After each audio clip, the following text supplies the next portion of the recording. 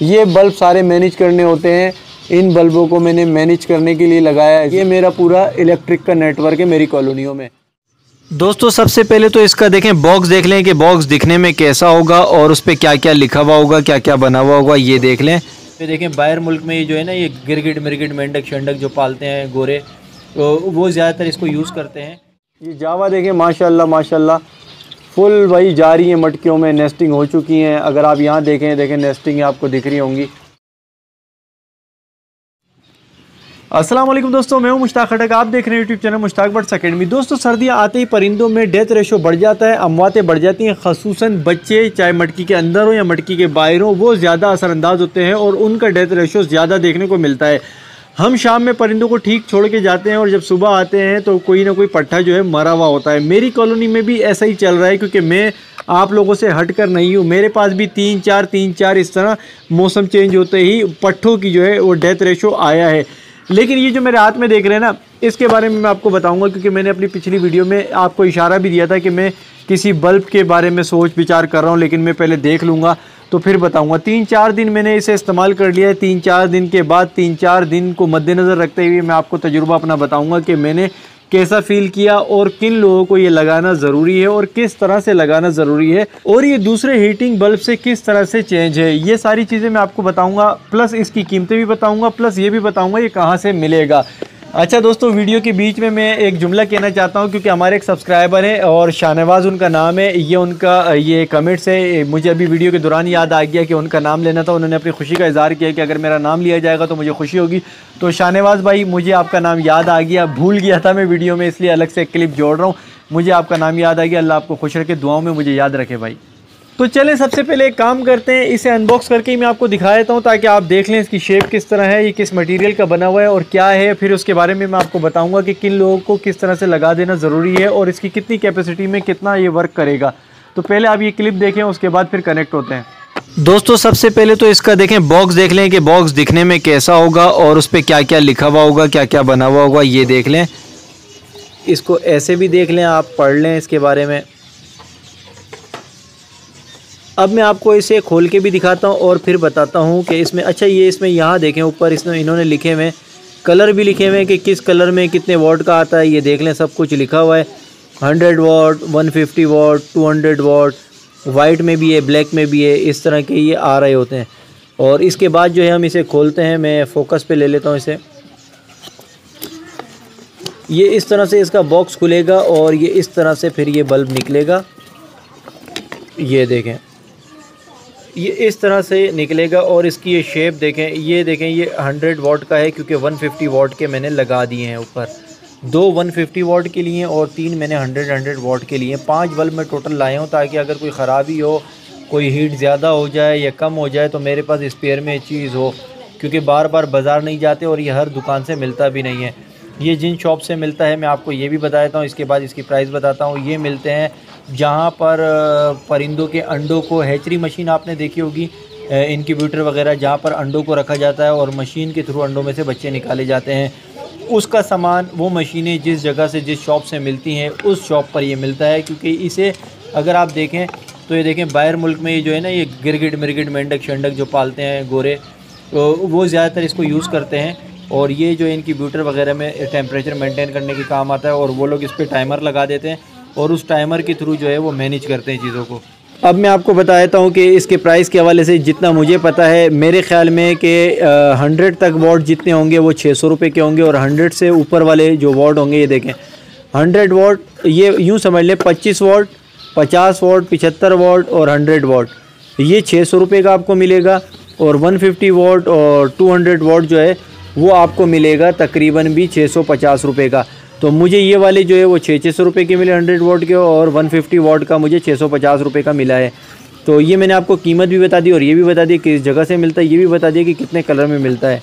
Bulb के देखने से उसकी बिल्ड क्वालिटी आपको पसंद आई क्योंकि अब मैं आपको बताता हूँ कि ये कहाँ पर लगाना ज़रूरी है। देखिए, मेरी जो कॉलोनी का साइज़ है वो तकरीबन बीस बीस फीट ऐसे है और आठ फीट ऐसे है और सात फीट पीछे की तरफ़ है। तो इसमें जो है, इसमें खाने बने हुए, तीन कॉलोनियाँ बनी हुई हैं। जो दो कॉलोनी है, म्यूटेशन फिंच की और जावा की, वो छोटे साइज़ की है। मिसाल के तौर पे वो पाँच बाय सात बाय आठ के साइज़ की दो कॉलोनी है जिसमें जावा रखी हुई है और म्यूटेशन रखी है। लेकिन कॉमन फिंच की अगर बात करें तो ये दस बाय सात बाय आठ का ये खाना है, ठीक है? अब इस खाने पे मैंने लगाया है, जो मैंने आपको बताया कि एक्सपीरियंस के लिए मैंने लगाया था, इसमें मैंने एक लगाया है 150 वॉट का, ठीक है? 150 वॉट का इस खाने में एक लगा हुआ है। और 150 वॉट का जो है वो जावा के खाने में लगा हुआ है, जो जावा के खाने में इस तरफ़ लगा है कि अगर ये जावा की कॉलोनी है और ये म्यूटेशन की कॉलोनी है तो मैंने यहाँ पे लगाया हुआ है ताकि इन दोनों का भी सेंटर बन जाए तकरीबन। सही है? अब 150 वोट जब मैंने लगाया है तो मैंने ये फील किया कि काम तो ये बहुत अच्छा कर रहा है। उसकी नस्बत जो हम शीशे वाले बल्ब लगाते हैं ना हीट वाले पीले उसकी नस्बत ये ज़्यादा अच्छा काम कर रहा है क्योंकि ये इसके अंदर एक रॉड है, या स्प्रिंग है जो जलेबी की तरह घुमा हुआ है, जो आपने पिछली वीडियो में देखा होगा, ऐसे ना रिंग टाइप के बने हुए जैसे जलेबी होती है। और उसके ऊपर जो ये लपाई हुई है ये सैरेमिक की हुई है सैरेमिक जो है, ये जो बेसन वगैरह होते हैं, ये यूँ समझ लें आप आम लफ्ज़ों में कि पत्थर या मट्टी का लपाई हुई भी है। अभी जो अंदर इसके रॉड है ना, ये करंट जब इस पर आता है सप्लाई तो ये रॉड या स्प्रिंग जो भी इसके अंदर है, ये गर्म हो जाता है। जब जब इसके अंदर रॉड गर्म होती है तो वो जब इस पत्थर को गर्म कर देती तो पत्थर में आपने देखा आप कभी आग में पत्थर जो है गर्म करके देखें, आग बुझ जाएगी, पत्थर में गर्माहट रहेगी। पत्थर जब गर्म हो जाता है तो वो ठंडा बहुत देर में होता है। यही इसकी क्वालिटी है कि एक आप 100 वोट का ये ले लें और 100 वोट का पीला बल्ब ले लें। इसको आप जलाएँ और उसे आप जलाएँ। इसकी हीट को फील करें, ये उससे कई गुना ज़्यादा हीट करेगा और उसकी हीट को फील करें, वो इसके मुकाबले में मदम पड़ जाएगी। फिर दोनों को बंद कर दें। ऑफ़ करते ही जो पीली रोशनी वाला शीशे की कवर वाला जो बल्ब होता है, वो फ़ौर से मतलब ठंडा पड़ जाएगा। ये काफ़ी देर तक हीट पर रहेगा। क्यों? क्योंकि देखिए करंट सप्लाई आप बंद कर देते हैं, लेकिन इसका पत्थर हीटअप हो चुका होता है। और वो उसी वक्त चलता है, जब ऑन है, वो चलेगा ऑफ़ किया, बुझ जाएगा। दूसरी चीज़ ये है कि इसको जो है वो अच्छा वोल्टेज भी उतने यूज़ करेगा ना ये, क्योंकि अगर 100 वॉट का वो वाला है, शीशे वाला 100 वॉट का ये भी है वोल्टेज भी उतनी लेकिन ये आपको देर पर रिज़ल्ट देगा। अब इसकी जो कुछ एहतियातें हैं और ख़ास चीज़ें हैं, वो मैं आपको बताता हूँ कि ये वाला जो बल्ब है, इसे आपने होल्डर भी किसी इलेक्ट्रिक वाले से पूछें, मज़बूत होल्डर लें। मज़बूत, क्योंकि ये ज़्यादा हीट होता है। 100 वाट के मुकाबले में यूँ समझ लें कि वो वाला जो 100 वाट का चल रहा है उसके तीन गुना ज़्यादा ये हीट करता है, जिससे ख़तरा होता है कि आप जिस होल्डर में इसको लगाएँगे, हो सकता है उस होल्डर को जला दे या पीला कर दे। मेरे वाले होल्डर इसने पीले कर दिए अब मैं आपको वो भी बताऊँगा। होल्डर का इंतखब अच्छे से अच्छा करें, किसी अच्छे इलेक्ट्रिक वाले से मशवरा करें, जो ये सेल करता होगा, उसे पता होगा कि यार ये इसके लिए कौन सा होल्डर कारामद है। उसके अलावा क्या होता है कि जिस होल्डर में ये लगा जाता है तो ज़्यादातर लोग मैंने देखा है कि वो इसको ऊपर की तरफ़ करते हैं। मिसाल के तौर पे मैं इसे खोलता हूँ। इस बल्ब को खोलने के बाद मैं आपको बताता हूँ। ये हम अमूमन बल्ब ऐसे लगाते हैं, ऐसे, इस शेप में लगाते हैं, ऐसे। सही, ऐसे लगाते हैं। तो इस बल्ब को लगाने वाले जो हैं, मैंने जो सर्च किया है, वो यूँ लगाते हैं, ऐसे। ठीक है, यानी कि इसका मुँह ऊपर की तरफ़ होता है और होल्डर नीचे की तरफ़ होता है। इस तरह लगाते हैं, क्योंकि ये जो गर्म हवा या हीट होती है, ये ऊपर की तरफ़ ट्रेवल करती है। उनके कहने के मुताबिक मुझे इतना इस चीज़ का तजुर्बा नहीं है। उनके कहने के मुताबिक कि जो गर्म हवा या हीट होती है, वो ऊपर की तरफ़ ट्रेवल करती है तो इसलिए अगर ये यूँ होगा तो इसकी हीट ऊपर की तरफ़ आएगी तो होल्डर को जलाएगी। जब ये यूँ होगा तो होल्डर थोड़ा सा सेफ़ रहेगा। तो आप भी ऐसा करें, लेकिन ऐसा करने से पहले एक चीज़ का ख्याल रखें, जब ये यूँ होगा तो परिंदा इसके ऊपर आके बैठ भी सकता है या गिर भी सकता है। आपने इसके ऊपर जाली लगानी है और जाली भी लोहे की लगानी है और फासले से लगानी है। यानी कि यूँ समझ लें कि डेढ़ फिट या एक फ़िट का एक डब्बा बना लें, सही है, जाली का डब्बा बना लें और उसमें इसको फिट करें ताकि परिंदे के पंजे वंजे परवर इस पर ना आए। क्योंकि अगर परिंदा इसके ऊपर आके बैठेगा तो उसके पाँव जल जाएँगे, पर जल जाएगा। इसीलिए आपने ऐसा करना है, एक फिट का एक बॉक्स बना लेना है जाली का। जो नेट होता है ना, जो हम जाली यूज़ करते हैं, लोहे की, मेटल की, उसे आप ऊपर रखेंगे ना तो इसमें फासला बरकरार हो जाएगा। तो परिंदा अगर आएगा तो वो जाली के ऊपर बैठेगा, उसको सेक लगेगी लेकिन जलेगा नहीं। ये एहतियात आपने लाजमी करनी और जो जाली भी लगाएँगे, उसमें नोके ना निकली हो, कोई सुराख ना हो, ऐसा ना हो, परिंदा ज़ख्मी हो, या क्योंकि एक एडिशनल चीज़ आने वाली है। मैंने अपनी कॉलोनी में किस तरह से लगाए हुए वो मैं आपको पहले दिखा देता हूँ। आप देखें, मैंने इसी तरह ही लगाए हुए लेकिन मैंने तीन चार दिन ऑब्ज़र्व किया मैंने दिन में भी जलाएँ। मैंने दिन में बल्बों को इसलिए जलाया ताकि मैं दो घंटे, तीन घंटे, चार घंटे इसे जलाऊँ। और जला के मैं यहाँ से मॉनिटर भी करूँ कि इसका जब फुल हीटअप होता है, ये फुल मैक्सिमम पॉइंट पे जाता है तो क्या ये कोई जलाता तो नहीं है? लकड़ी जला दे होल्डर जला दे तो ये मैंने अपनी कॉलोनी में अपने वाले होल्डर पे ऑब्ज़र्व कर लिया है। मैं आपको ये नहीं कह रहा हूँ कि आप आँखें बंद कर, आप दिन में लगाएँ, जो भी आपने सेटअप लगा लिया, दिन में लगाएँ, दिन में इसको चलाएँ, चालू करें ऑन करें इसको। तीन चार घंटे तक इसको देखें कि इसके फुल मैक्सिमम लेवल पे जाने से कोई ख़तरा तो नहीं हो रहा, कोई दाग धब्बे तो नहीं आ रहे लकड़ी पे, क्योंकि देखें, ये हीट बहुत बेहतरीन देता है।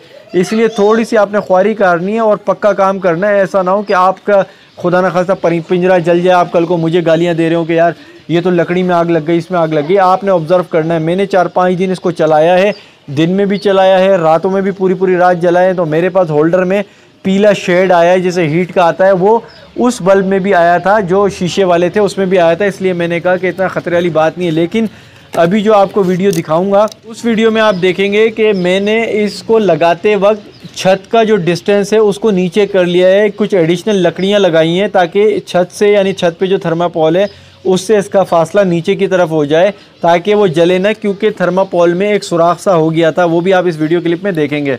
तो ये रही जावा की कॉलोनी। अब हम यहाँ पे जाके आपको दिखाते हैं कि किस तरह का मैंने ये लगाया है और कौन कौन सी चीज़ें हैं जो एहतियात करनी है।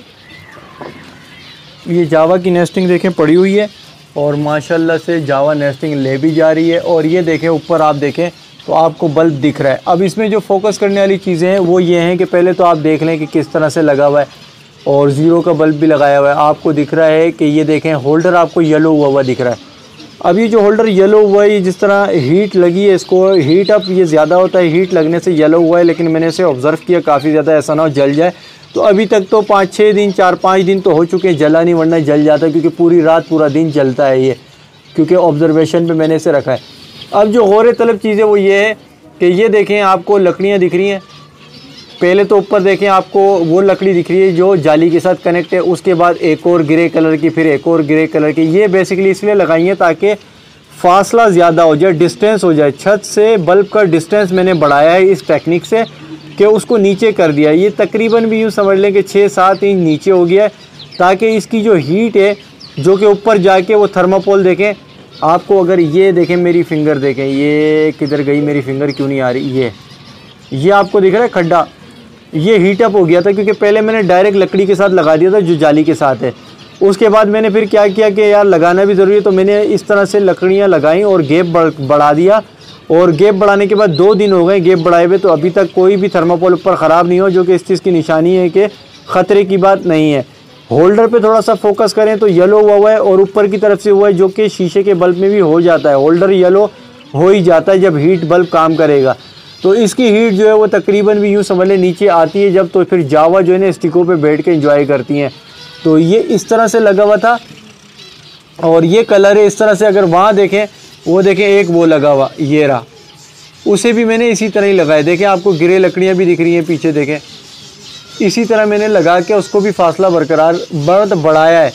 एक वहाँ लगा हुआ है, और उसके बराबर में अगर आप देखें तो आपको वो शीशे वाला बल्ब भी दिखेगा। वो बल्ब इसलिए लगाया है ताकि अगर इन्हें रात में दाना खिलाना हुआ तो फिर वो रोशनी वाला बल्ब जलाऊँगा। क्योंकि इस बल्ब की क्वालिटी ये सेरेमिक बल्ब की कि ये बल्ब रोशनी नहीं देता। ये सबसे मेन बात है। ये बल्ब रोशनी नहीं देता, इस बल्ब की रोशनी से डिस्टर्ब नहीं होते, क्योंकि जब ये रोशनी नहीं देता तो परिंदे डिस्टर्ब नहीं होते, सुकून से हीट लेते हैं, सोते हैं, नींद पूरी करते हैं। जावा ने देखो, मेरा थर्मापोल सारा ख़राब कर दिया है। इससे भी आपको सीखने को मिलेगा कि मोटी जाली हो तो जा थर्मापोल ऐसे नहीं रखते, क्योंकि जिस जाली से इनकी चोंच क्रॉस हो जाए, वहाँ पर ये कुतरना शुरू करती हैं। बहरहाल हम दोबारा आते हैं कि इस बल्ब की क्वालिटी ये है कि ये बल्ब सोने के लिए मैंने लगाया भी। बेसिक मकसद ये है कि परिंदे रेस्ट करें। पिछली सर्दियाँ, वो मैं जलवा रहा था, वो शीशे वाले तो वो रेस्ट नहीं कर पा रहे थे और दाना ज़्यादा ख़त्म होता है। अब ना वो बल्ब जल रहा है, ना इनकी नींद ख़राब हो रही है, ना ही ये दाना खा रहे हैं। दाना भी बच रहा है और परिंदे रेस्ट भी कर रहे हैं। तो ये तरीका है, आप भी ये करें, करके देखें। जो मैंने आपको बताया है अपने अपने हिसाब से कॉलोनी ये जिस तरह जावा की कॉलोनी है, ये पाँच बाई सात बाई आठ, इसमें ये एक बहुत है, दो लगा दें हंड्रेड हंड्रेड वोट के टू हंड्रेड वोट कर दें तो बेहतरीन हो जाएगा। ज़्यादातर कॉलोनी लोगों के पास इसी साइज़ की बेहतरीन हो जाएगी, अगर आपने इसी साइज़ में लगा दिए दो बल्ब। तो ये मैंने आपको तजुर्बा करके दिखाया डरावा भी काफ़ी था। एक ये देखें, अब मैं आपको टोटल बल्ब के कनेक्शन बताऊँ तो देखें, ये लगा हुआ है रोशनी वाला बल्ब ये लगा हुआ है बग़ैर रोशनी के सैरमिक बल्ब ये लगा हुआ है ज़ीरो वोट का बल्ब और वो लगा हुआ है सैरमिक बल्ब और वो लगा हुआ है रोशनी वाले बल्ब ये बल्ब सारे मैनेज करने होते हैं। इन बल्बों को मैंने मैनेज करने के लिए लगाया है। ज़ीरो का बल्ब मगरब में जला, जल जाता है ताकि कोई परिंदा नीचे गिर जाए, अपनी जगह पे चले जाए, ये जला रहता है पूरी रात। ज़ीरो का बल्ब सरेमिक के दोनों बल्ब जलते हैं।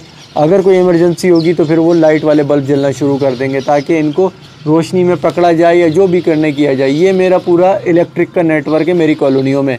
ये भी आपने देख लिया कि किस तरह से मैंने आपको दिखाया कि थर्मापोल में भी होल कर दिया था, पिघल गया था थर्मापोल तो उससे अंदाज़ा होगा कि कितनी बेहतरीन हीट देता है। अब बात कर लेते हैं कि कैपेसिटी के लिहाज से क्या करना है। देखें, पाँच बाई छः, पाँच बाई पाँच की कॉलोनी अगर आपकी है तो आपका हंड्रेड वाट का जो बल्ब है, वो भी काम में आ जाएगा। उससे बड़ी अगर कॉलोनी होगी तो देखें, आप फिर एक काम करें, जैसे मिसाल के तौर पे मैंने ये 10 बाई सात बाई आठ का जो साइज़ है कॉमन का, इसमें मैंने एक लगाया है तो मैं अब ये सोचता हूँ कि मुझे अगर इसमें दो लगा दूँ मैं लेफ़्ट राइट पे दो लगा दूँ या कोई ऐसी टेक्निक करके मिड में लगा दूँ तो ये कवर कर लेगी। तो लिहाजा आपके पास अगर बड़ा साइज़ है, आप अच्छे इलेक्ट्रीशियन से डिस्कस करें सर्टिफाइड हो, उससे डिस्कस करें, उससे कनेक्शन डलवाएँ और इतने बड़े साइज़ में 10 बाई 10 10 बाई आठ में 100 100 वॉट के दो लगा सकते हैं या डेढ़ डेढ़ सौ वॉट के दो लगा दें तो आपका बेहतरीन काम हो जाएगा। इसकी हीट बहुत ज़्यादा एनर्जेटिक है और ये तकरीबन डेढ़ दो फीट तक हीट को फेंकता है।